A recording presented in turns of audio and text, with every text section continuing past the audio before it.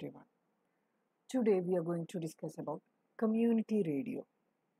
Hope you have heard about community radio or uh, uh, you know what is community radio, right? If not, like just listen to this. So, uh, so before moving into community radio, you should know what is a community, right? So, what is a community? You have studied this thing in uh, sociology, right? Yes. So, what is a community? Community is a group of people living in the same place or having a particular characteristics in common. And radio so, radio is the technology of using radio waves to carry information such as sound. So, if you kind of, you know, mix it together, community radio, so it is, you can see that it is a radio for the community. So, community is a group of people, uh, is a group of people living in the same place or having a particular characteristics in common. Next, community radio service. In short, we can call it CRS. CRS licensed by the Union Ministry of Information and Broadcasting. Okay, so this community radio services is it is issued by the Ministry of Information and Broadcasting, and community radio service uh, focuses on different communities living within its transmission zone. And CRS, if you see CRS reach uh, reaches out to every section of the society with special attention to the communities that are marginalized to ensure that they also find expression through the radios. Like in especially in the you know time of fms and all see community radio actually helps the people to um, uh, helps the people to uh, you know promote their own especially for the marginalized marginalized people so they find um, you know uh, they find expression through this radio okay? And if you take uh, it provides farmers tribes dalits women and children an opportunity to speak out and be heard. Okay so this is basically for the community. It, it works like our fm station okay? It's like it has it so it will be available in a uh, you know very small area. So probably like you know it will be serving that particular uh, community. And it is like everyone in this uh, particular community will be a part of or they are part of this community radio. And community radio means radio in the community for the community, about the community, and by the community. Uh, so it is like, yeah, so it is done by the people in the community and it is for the people in the community and it is about the community and also by the community. And uh, community radio is characterized by the active participation of the community in the process of creating news, information, entertainment, and culturally relevant material with an emphasis on local issues and concerns especially like you know you can see that most of these fm channels are concentrated in cities. Obviously they want profit right? So they want advertisements. They they run on advertisement revenue. So especially for people like uh, you know people who live in the rural area they don't have uh, they obviously they have this uh, you know am i mean all india radios fm service is available for them. But still for them uh, you know to to uh, spread awareness about their community and you know uh, their problems and to share uh, things with people. So for them uh, radio is required. That's why uh, the ministry of information came up with the idea of community radio and uh, community radio programming, if you take the programming, community radio programming is designed by the community to improve social conditions and the quality of the culture life. So, uh, you have heard about, like, you know, most of you have, uh, uh you know, listened to our campus radio. So, what it deals? It deals with our campus news, right? Yes, love at the community radio programming, and it is done by the students, right? So, uh, same way, the community radio programming is designed for the community. It is just for that community, and uh, basically to improve their social conditions and quality of cultural lives. You know, so it will give them an idea about their health, hygiene, the cultural life. You know, uh, it will give them, uh, you know, an exposure to all these things, and it is the voice of the voiceless, the mouthpiece of oppressed people, and a tool for development. So it is considered as a tool for development. Okay, and community radio is defined as having three aspects. One is non-profit making.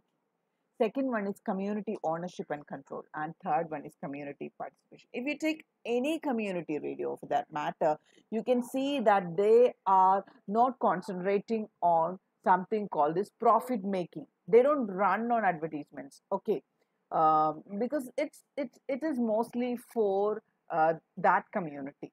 And even if we, they get obviously they can incorporate advertisements if they want but it is not on a profit oriented way and it is owned by the community and it is controlled by the community. And also they make sure the community participation. And you can see that the participation of the community like you know the anchors the presenters um, you know the the everybody is like you know from the community. Obviously you can invite people from outside uh, but still most of them are from the community next what is community radio? Okay so community radio is uh, not uh, you know a new phenomenon or something. So it is there in different countries you can see. So community radio has a short range and caters to the information needs of communities living in the surrounding areas owned run and maintained by a community. So i told you it's like short range. They don't cover like you know a very um, you know, long range or something. They cover a short range. It is like our FM. And I told you, it is like they cater to the information needs of that particular community. And if you take like other states, other countries also, you can see that it is called popular or educational radio in Latin America, rural or local radio in Africa, public radio in Australia, and free or associative uh, radio in Europe. So you, this community radio has different names in different countries. So most of them, what do they do? They actually serve the community. Okay. So all these describe the same phenomenon, gaining voices and democratizing communication on our community. Next, why community radio? Why do we need something called a community radio? Okay.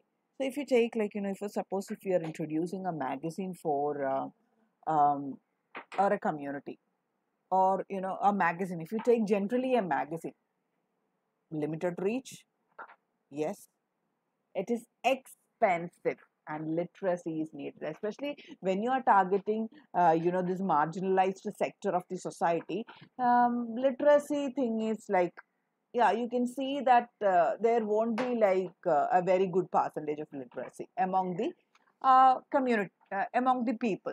So magazines won't won't be an ideal uh, thing for a community especially in the marginalized section of the society or you know uh, basically like you know a particular society okay? Government run radio. So if you take see obviously we have AIR and uh, you know AIR's FM and all. But if you take these government run radios, they have a very broad focus.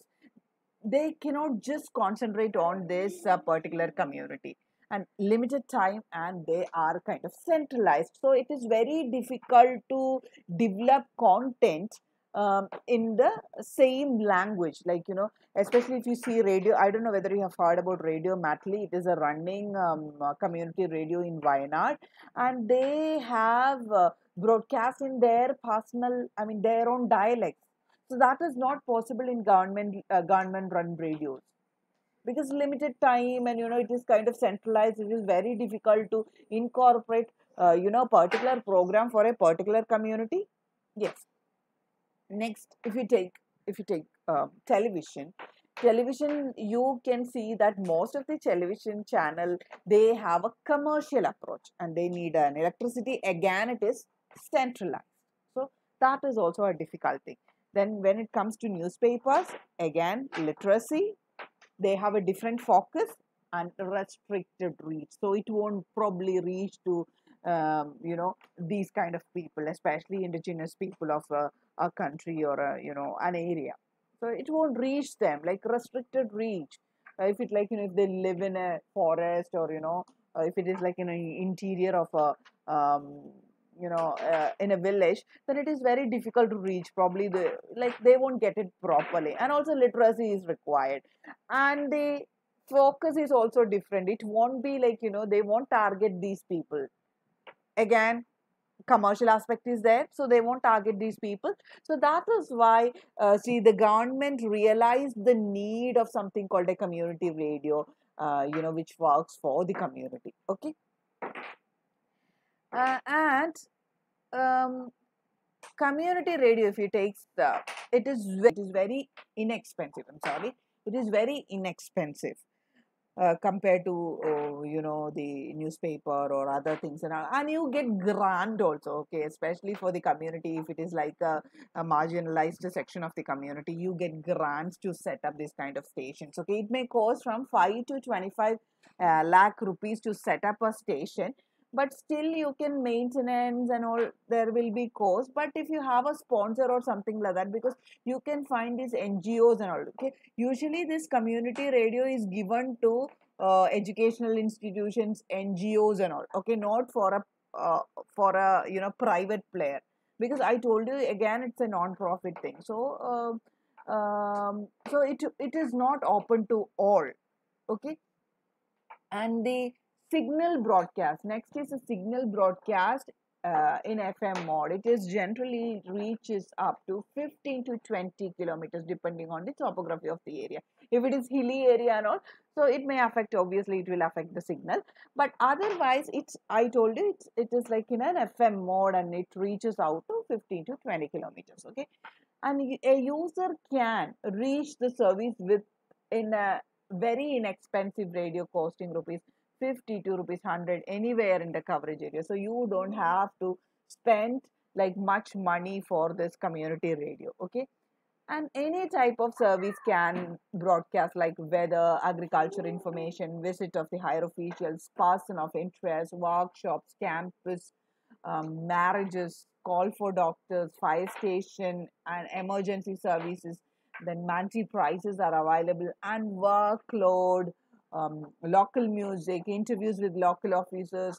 So everything, even you can include the missing cattle information there. Okay, so that is actually, uh, you know, the use of um, uh, a community radio. So it is very, uh, you know, inexpensive. And um, if you see the differences, okay, it does not cost anything to the government so it won't cost anything the only thing is you government just you know give uh, give sanction to run a community radio so the rest of the thing um, it is run by the NGOs or the community based organization or educational institutions and agri universities. I told you it is not open for all. If we want, we can apply for a, a community radio services. Only thing is you have to pay this money. If you have a sponsorship, then not a problem. Okay.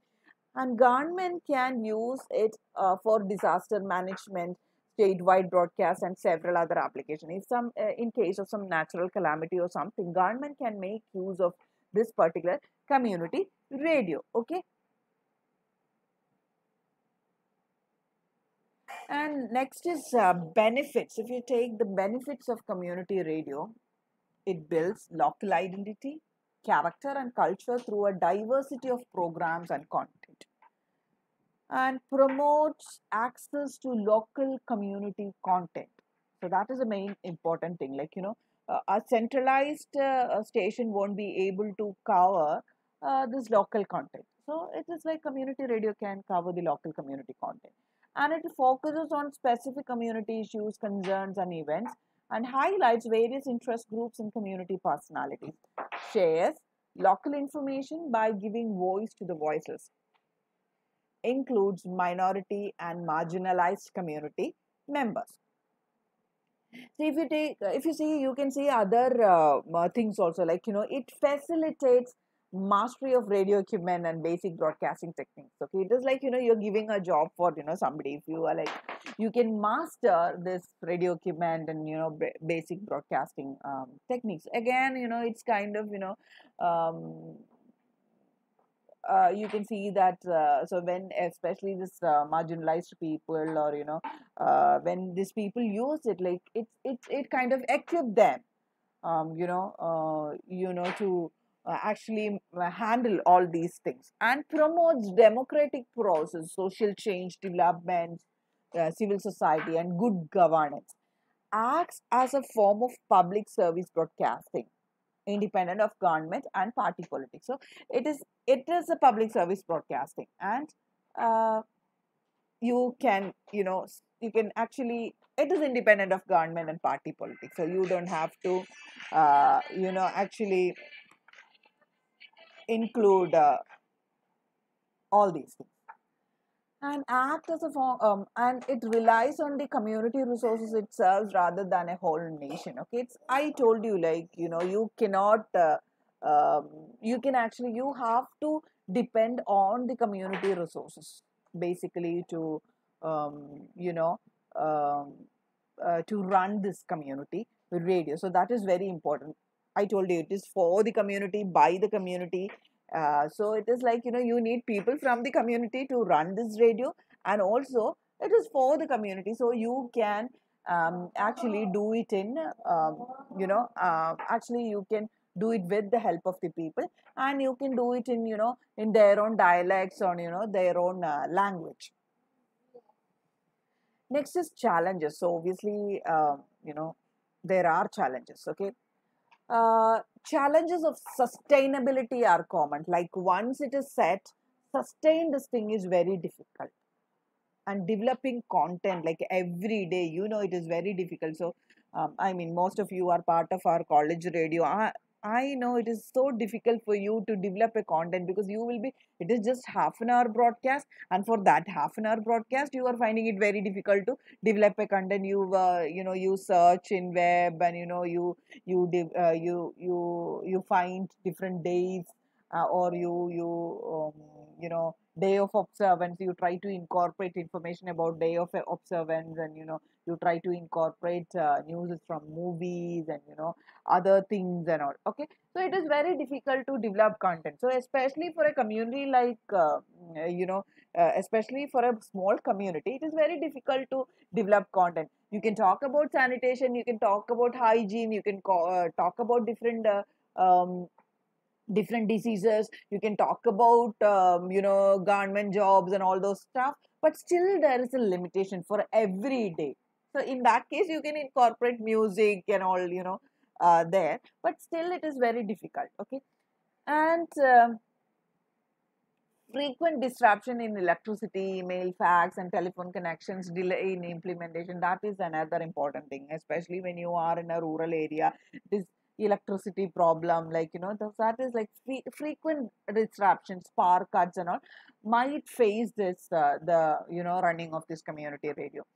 And another important thing is uh, so I told you, like, you know, you will know the community, the people from the community will get to know about uh, uh, this broadcasting thing and all. But still, absence of technical expertise to service and maintain equipment is another thing. So, once something happens to this uh, particular equipment, you have to contact people and, you know, uh, you know, this expert, technical expert people, and, you know, you have to, um, you know, sort out those problems. So, that is another thing and if you take like you know how this uh, community radio developed in india is a story okay? So in february 1995 supreme court of india ruled in its judgment that airwaves are public property. This came as the inspiration to groups across the country uh, but to begin with only educational radio stations were allowed. So uh, so what happened like you know in uh, in supreme court's verdict or a judgment they mentioned that airwaves are public property. So that became an inspiration. So i told you to begin with only educational campus radios were allowed. Then in 2000, FM broadcasting was opened.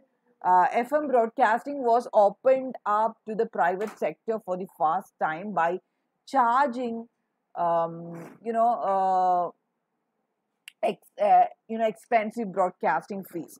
Um, so that was that we have already covered. You know, the uh, FM FM broadcasting in India and so that was uh, the amount was really huge the amount was pretty huge there and in uh, 2001 uh, india's very first privately owned broadcasting station radio city went on air in bangalore and in december uh, 2002 government of india announced a policy for the grant of community radio license to educational institutions and organizations. So in 2002 they realized the importance of this community radio thing because uh, fm station not everyone can afford. It's like you know you need to pay a huge amount. Um, so uh, in 2002 government of india announced the policy to grant uh, this community radio then in uh, mm, 1st February 2004, Anna FM, the India's first campus community radio launched on which is run by Education and Multimedia Resource Center. Okay. So Anna FM by the Anna University uh, launched in 2004. So that was the first com- campus com- community radio services in India. Okay. And in uh, November 2006, Government of India notified new community radio guidelines who which permit NGOs and other civil society organizations to own and operate community radio stations. So that was another important milestone in the history of community radio. So not only uh, you know uh, educational organizations, these NGOs and other civil society organizations were given the permission to uh, you know apply for this community radio and uh, there were 38 operational community radio stations in the country. Of these, two are run by NGOs and rest by the education. And if you see the list of community radio stations, uh, you it is available. It is available in the uh, it is available in the website of Ministry of Information and Broadcasting, and you can see that most of these community radio stations are run by NGOs and uh, uh, you know educational institutions. Uh, so that was in the year um, 2008. Again in October 2008, Sangam Radio in uh, Pastapur village, Medak district, Andhra Pradesh, it was switched on at 11 a.m.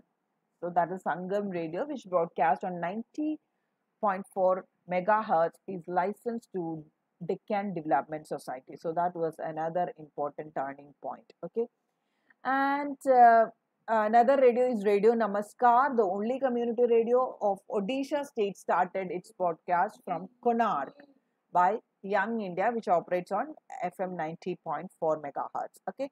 And uh, when it comes to Kerala, you can see that Radio Mattoli is a very popular communicate, uh, community radio service, uh, CRS in uh, uh in uh, Kerala that is situated in the Wayanad district of Kerala. Okay, and it is the first community radio uh, service in Kerala, the only electronic media in Kerala that broadcasts programs in tribal dialects. Okay, so I told you Radio Matli is for the indigenous people there, I mean for the tribal people there, and they broadcast in tribal dialects. Okay. The only radio station located in Wayanad district, the active involvement of largest number of community volunteers, and you can see that it is still running. Okay, it is still running, and you can see a very uh, huge number of uh, you know very active participation of the community volunteers in this particular um, uh, particular radio services.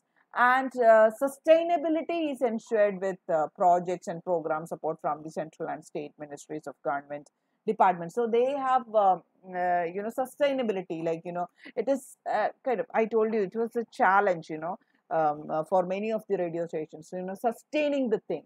So but it is you know if you see radio matli you can see that radio matli is kind of you know still running. And radio matli signal reaches all the 49 revenue villages in uh, Wayanad district covering a population of 816558 as on as per the 2015 census and studies have shown that at a given point of time approximately 2.5 lakhs people uh, 5 lakh people listen to this Mattoli Radio. So you can see this is a, a logo of uh, Community Radio Mattoli, and it is available. Okay, it is available on online. Okay, if you just type community uh, Radio Mattoli, you can um, uh, you know you can listen to this uh, community radio. And the list of CR stations I got it from the ministry's uh, uh, you know website. And you can uh, in kerala okay i've just uh, um, uh, copied a list of cr stations in kerala Wayanad social service society that is organization and the radio's name is radio mattoli and dc school of management and technology dccr Trivandrum, then bishop benziger college again radio benziger and st joseph college of communications in changanasheri. They have radio media village and it's a very highly successful radio i would say. And uh, next is academic and technical education uh, development society. They have uh, gen vani fm so these are all operational thing and some of them got uh, um, you know um, permission okay so that is like university of calicut tirumala trust global education net and all got uh, permission to run um, you know community radio stations and ahalya international foundation that is again um, Ahalya Voice, and there is a new radio that is Mar Athanasios College for Advanced Studies. They have uh, a radio called Radio MacFast. Okay, so that is in Tiruvalla. Okay, so uh, that is all about community uh, community radio. If you have any questions, you can uh, ask in the live class or in the uh, forum. Okay, so thank you so much. Hope you uh, got a clear idea about the community radio stations in India and how it evolved and what is it and the challenges, the benefits and all. So thank you.